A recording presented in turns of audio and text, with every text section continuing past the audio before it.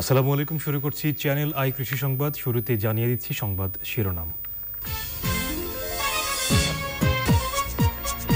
কলা গাছের বাকল থেকে সুতা ও শিল্পপণ্য তৈরি হচ্ছে চুয়াডাঙ্গার দামুর হুদায় সৃজনশীল উদ্যোগে কাজের সন্ধান পেয়েছেন গ্রামীণ নারীরা।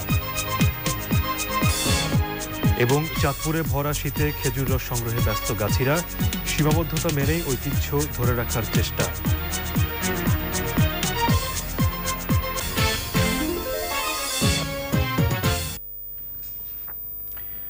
সংবাদ শিরোনামগুলো জানাচ্ছিলাম।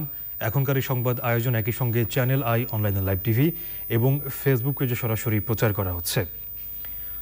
অব্যবহৃত ও পরিত্যক্ত কলা গাছের বাকল থেকে সুতা তৈরি করে নিত্য প্রয়োজনীয় পণ্য উৎপাদন করছেন চুয়াডাঙ্গার দামুরহুদা উপজেলার পাটাচোরা গ্রামের কৃষি উদ্যোক্তা শাহিন আলী। তার এই কাজের সাথে যুক্ত রয়েছেন গ্রামের অনেক নারী। চুয়াডাঙ্গা থেকে রাজীব হাসান কোচির পাঠানো তথ্য ভিডিওতে সুদীপ্তা মাহমুদের রিপোর্ট। চুয়াডাঙ্গার দামুরহুদা উপজেলার পাটাচোরা গ্রামের উদ্যোক্তা শাহিন আলী গত বছরের মাঝামাঝি সময়ে শুরু করেন কলাগাছের বাকল থেকে আঁশ সংগ্রহের কাজ। ওই আঁশের সুতা থেকেই তৈরি হচ্ছে ব্যবহারিক ও শৌখিন নানা সামগ্রী। কর্মসংস্থান মানুষ নিয়ে ভাবার ভাবি মানে নিজে যাতে কিছু করতে পারি এবং দশ জনকে নিয়ে যাতে কিছু করাতে পারি। এ কাজের সাথে যুক্ত রয়েছেন গ্রামের প্রায় ত্রিশ জন নারী। ওয়ালম্যাট পাপোশ ব্যাগ এই ধরনের। আমরা আমাদের এই মানে কাজটা শেখাচ্ছে হচ্ছে তিনি কলা গাছের সুতার থেকে আমাদেরকে বেনুনি করে তার থেকে বিভিন্ন ধরনের কাজ শেখাচ্ছে। পরিত্যক্ত কলা গাছ থেকে সুতা এবং এর বর্জ্য থেকে ভার্মি কম্পোস্ট জৈব সার তৈরি হচ্ছে। এক্ষেত্রে স্থানীয় নারীদের প্রশিক্ষণ দিচ্ছে যুব উন্নয়ন অধিদপ্তর। বিভিন্ন রকমের প্রোডাক্টটা বানাচ্ছি মেয়েদের নিয়ে। মানে বেনিটা শেখার পরে ওই প্রোডাক্টগুলো সবার একটা একটা করে দিচ্ছি, দিয়ে শেখাচ্ছি। শেখানোর পরে আমরা বাজারজাত করতে চাচ্ছি। আর প্রত্যেকটা মেয়ের চাচ্ছি যে আমরা ওরা যেন স্বাবলম্বী হতে পারে।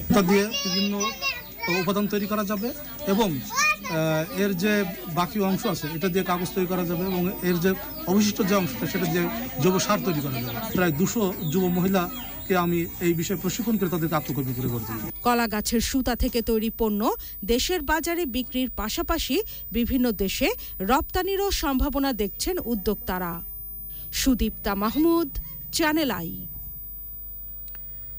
সংবাদের এই পর্যায়ে নিচ্ছি বিরতি আর বিরতির পর্যায়ে থাকছে। চাঁদপুরে ভরা শীতে খেজুর রস সংগ্রহে ব্যস্ত গাছিরা সীমাবদ্ধতা মেনেই ঐতিহ্য ধরে রাখার চেষ্টা।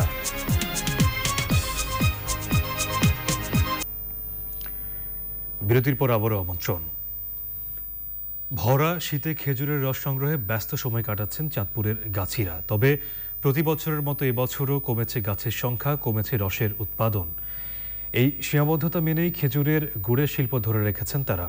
চাঁদপুর থেকে মোর্শেদ আলমের পাঠানো তথ্য ভিডিওতে জাকি আক্তারের রিপোর্ট। কয়েক বছর আগেও চাঁদপুরের প্রতিটি বাড়িতে ক্ষেতের আইল ও রাস্তার দুপাশে অসংখ্য খেজুর গাছ ছিল। সময়ের বিবর্তনে কমে গেছে গাছের সংখ্যা। টিকে থাকা গাছগুলোতে ঝুলছে এই শীতের আমেজ রসের হাড়ি। আর একদিন হেতাগো একদিন আমার। আর আমার এই গাছ কাটাতে বিশ পঞ্চাশটা যায় কাটি আমার এই ফ্যামিলি সুন্দর মতো চলে। গাছিরা জানান অন্য কাজের পাশাপাশি রস সংগ্রহ করেন তারা। তাও বর্গা হিসেবে সংগৃহীত। খেজুর রস একদিন দেয়া হয় গাছের মালিককে আর একদিন পান গাছি। তিরিশ পঁয়ত্রিশটা খাজুর গাছ কাটি সিজন আইলে প্রতি সিজনে একদিন গৃহস্থরা নেয় একদিন আমি পাই বর্গা কাটি আমার নিজের গাছ। সতেরো গাছের রস মালিক অর্ধেক পায় আমি অর্ধেক পাই। আমি অর্ধেকটা বেশি আমার সংসার সুন্দরভাবে চলে। প্রত্যেক বছরই আমি আসি।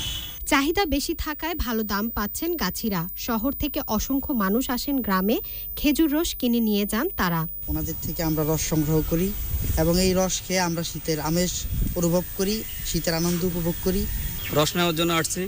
রস নিয়ে আমার বাচ্চা টাচ্চারা খাওয়াবো আমরা খাব। এই জন্য আর কি আসা হলো। আমার প্রতি বছর এই শীতকাল আসলে অপেক্ষা থাকি আমরা শীতের নাস্তা খাওয়াবো বা মেহমান আসলে শীতের দেবো। খেজুর রস সংগ্রহ ও গুড় তৈরির এই কাজে বেশ আগ্রহ দেখাচ্ছে কৃষি বিভাগ। তো ইদানিংকালে এই খেজুর গাছ প্রায় বিলুপ্তির পথে কৃষকরা যদি মনে করে যে এর আবাদ বা গাছের বৃদ্ধি করা সম্ভব সেখানে আমাদের কৃষি বিভাগ থেকে পরামর্শ চাইলে অবশ্যই আমরা এই পরামর্শের মাধ্যমে আরও খেজুর গাছের আবাদ বৃদ্ধি করতে সক্ষম হব। দিনে দিনে এ অঞ্চলে খেজুর গাছ বিলুপ্ত হয়ে যাচ্ছে। শীত মৌসুমে খেজুর রস ও গুড়ের চাহিদা পূরণ হয় পার্শ্ববর্তী জেলাগুলো থেকে। Zakia Akter channel I.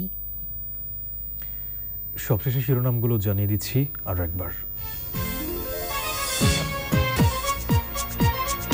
কলা গাছের বাকল থেকে সুতা ও শিল্পপণ্য তৈরি হচ্ছে চুয়াডাঙ্গার দামুর হুদায়। সৃজনশীল উদ্যোগে কাজের সন্ধান পেয়েছেন গ্রামীণ নারীরা।